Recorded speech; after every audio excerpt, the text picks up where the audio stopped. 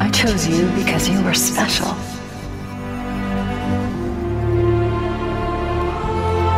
I knew we would be perfect together. And I was right.